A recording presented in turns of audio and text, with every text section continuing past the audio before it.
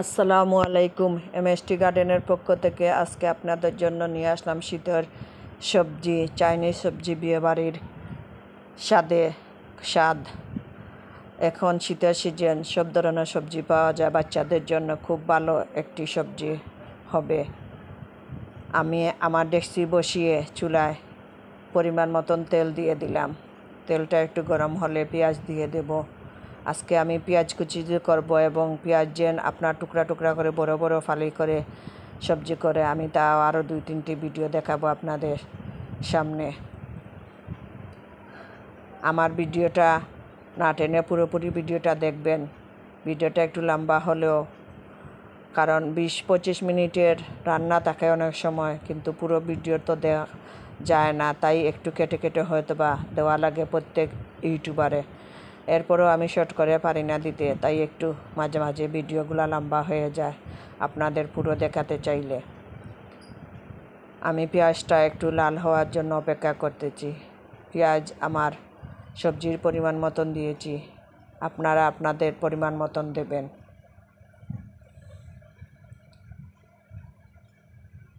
পেঁয়াজটা একটু নেড়ে চেড়ে দিতেছি, লাল হওয়ার জন্য, একটু বাজা বাজা হওয়ার জন্য।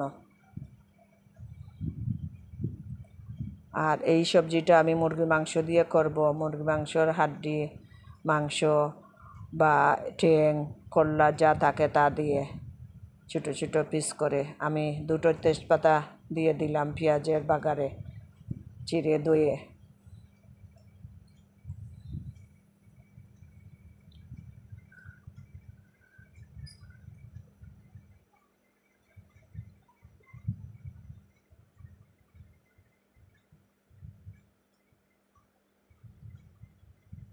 এক টেবিল চামচ পরিমাণ আমি আদা রসুন কুটা দিলাম। কুটা পিসা ব্লেন্ডার করা যায় বলেন তা। আর আপনার দই আইসে ছিল, তাই আমি ব্যাঙ্গে, আপনার আইস ব্যাঙ্গে ডিপ ফ্রিজে ছিল। আপনার এক টেবিল চামচ পরিমাণ দই দিলাম। টক দই বা মিষ্টি দই যা থাকে তা দিতে পারেন। মিষ্টি দই দিলে আপনার চিনি না দিলেও হবে। আর যদি টক দই দেন তাহলে আপনি এক টেবিল চামচ বা দুই টেবিল চামচ একটু চিনি দিবেন। আমার পাঁচফোড়ন নিজের হাতে তৈরি করা এক চা চামচ দিলাম, কারণ পাঁচফোড়নের মাঝে আমি গরম মশলা, সবজিতে এইভাবে আস্তা দেব না। তাই গরম মশলাটা আমার নিজের হাতে সব কিছু দিয়ে করা। তাই এক চামচ দিলাম। আর হলুদ গুঁড়ো চার চামচের চার ভাগের এক অংশ দিলাম, কারণ এটা কাশি কালার করব না। আর দশ বারোটা কাঁচামরিচ আপনার দুই ফালি করা দিলাম, কারণ এই সবজিতে আমি গুঁড়ামরিচ দেবো না। হলুদটাও অল্প কালার দিয়েছি, একটু সাদামুখা থাকার জন্য, বেশি কালার না হওয়ার জন্য। আর এইটা তো চাইনিজ সবজির সিস্টেমে করা, তাই আপনার বেশি কালার করব না। আমার মশলাটা একটু বাজা বাজা করতেছি। পানি দেইনি। আমি দই থেকে যে পানি উঠেছে এবং আদা রসুন থেকে সেই পানি আর তেলে আপনার পেঁয়াজটাকে নেড়ে চেড়ে দিতেছি। আর এই হলো আমার মাংসের পরিমাণ। এক কেজির উপরে মুরগির মাংস। মাংস একটু রেখে আমার দুই কেজির একটা মুরগি ছিল, তা দিয়ে আমি তৈরি করতেছি। মাংস হাড্ডি গুড্ডি যা ছিল তা দিয়ে সবজি।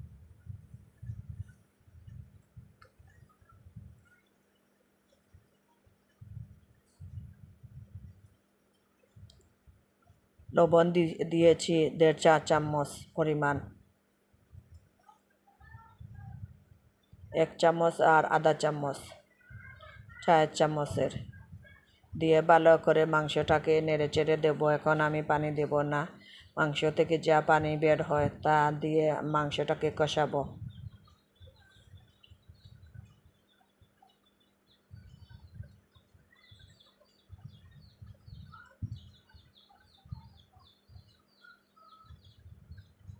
আমার পাঁচফোড়নটা আপনার দারচিনি এলাচি গুয়ামুড়ি লং, এরপরে আপনার তেজপাতা জিরা, আরও যে জয়তি, জৈন, যা থাকে সব দিয়েই আমার পাঁচফোড়নটা মাংসের আলাদা থাকে, মাছের পাঁচফোড়ন আলাদা থাকে। আর টমেটো একটা কুচি করে কেটে দিলাম। আমি সস দেব না, আপনাদের যদি টমেটো না থাকে তাহলে সস দিতে পারেন। ঘরে থাকলে। আর যদি মনে করেন সস থাকে না টমেটো থাকে, তাহলে টমেটো কেটে দিতে পারেন। সবজিতে একটু টমেটো দরকার হয় টেস্টের জন্য। আমার মাংস থেকে দেখতে পাচ্ছেন, আর টমেটোয়ে অনেক পানি উঠে গিয়েছে। এই পানি দিয়েই আমি মাংসটা ভালো করে সিদ্ধ করে নেব। মাংস অলরেডি আপনার দশ মিনিট সিদ্ধ হয়েছে। এখন আমার সবজিগুলা দিয়ে দেবে এই সবজির মাঝে আপনার গাজর, আলু, মূলা গুল গুল করে আমি কেটে নিয়েছি, চাইনিজ সবজির মতন। পাতলা পাতলা করিনি, আমি অন্য একদিন সেটা দেখাবো। আমি গুল গুল করে এই সবজিটা তৈরি করেছি।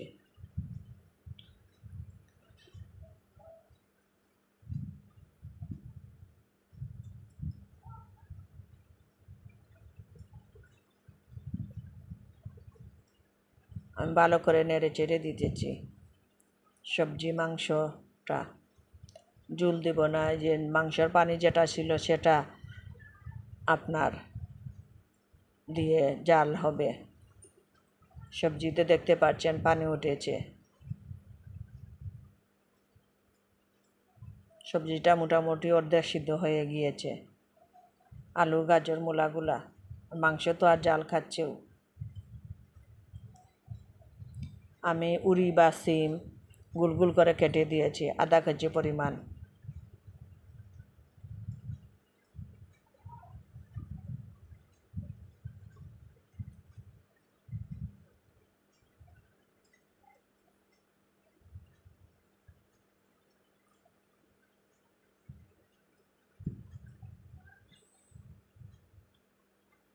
আমার সবজিটাকে আবার ডাকনা তুলে আবার নেড়ে চিড়ে দিয়েছি। এই বিশ পঁচিশ মিনিটের মতন সবজিটা তৈরি করতে আমার সময় লেগেছে। কিন্তু আমি পুরো ভিডিওটা তো কোনো ইউটিউবারে পুরোপুরি দেখায় না, কারণ কম সময় লিয়া অনেকে দেখায়। আমি এত কম সময় লিয়া অনেক সময় পারি না। আমার পাতা কবিটা আমি গুলগুল করে ধুয়ে, ভালো করে ধুয়ে আপনার গুলগুল করে কেটে দিয়েছি। যা বলতেছিলাম।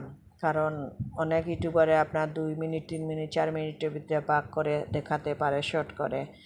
আমি একটু লম্বা ভিডিও দিই কই, মনে করি এটাও যেন যারাও দেখে অনেক সময় অনেক জিনিস শিখতে, শেখার তো দরকার। তাই আমি পানির পরিমাণ এক কাপ দিলাম সবজিতে, আর পানি দেব না। এখন সবজিটাকে আমি ভালো করে নেড়ে চেড়ে দিয়ে ঢাকনা দিয়ে ডেকে দেবো। তাই আমার ভিডিওটা আপনার লম্বা বা বড় হয় অনেক সময়। কারণ অনেকে নতুন রাঁধুনি থাকে, তারা তো একটু শেখার দরকার। তাই আমি অনেক সময় অনেক ভিডিও বড় দিয়ে দিই।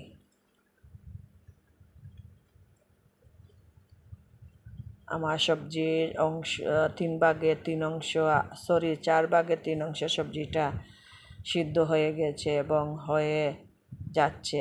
এখন আমি আপনার ফুলকপি দেব, ফুলকপি সব লাস্টে দেব। এই কারণে যে ফুলকপিটা পাতাকপিটা আপনার খুব তাড়াতাড়ি সিদ্ধ হয়ে যায় সেজন্যে। ফুলকপিটা একটু নেড়ে চেড়ে দিয়ে ডাকনা দিয়ে আবার ডেকে দেব।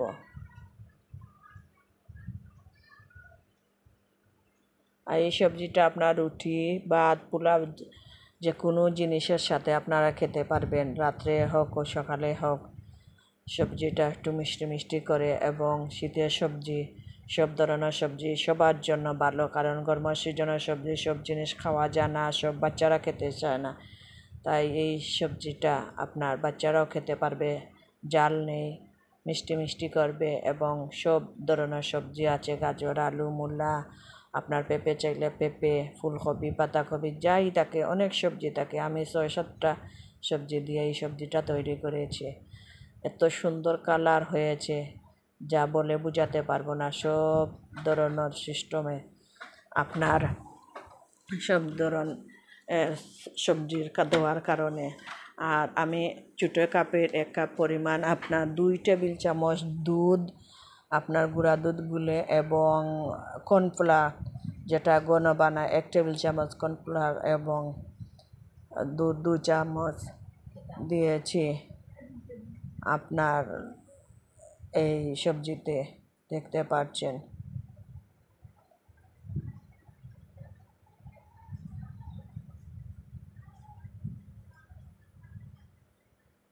আর ঘি এক চামচ দিয়ে দিলাম। তার মাঝে গ্রান হওয়ার জন্য। আমার সবজিটা পুরোপুরি হয়ে গিয়েছে, আপনারা দেখতে পাচ্ছেন। নেড়ে চেড়ে দিয়ে আমি সবজিটা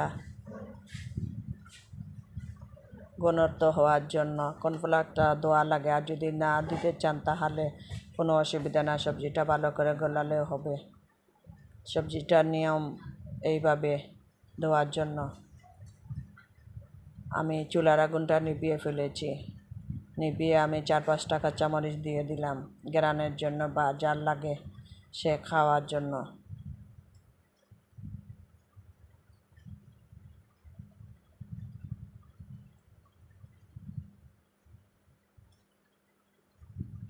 আপনারা দেখতে পাচ্ছেন পুরোপুরি জিনিসটা।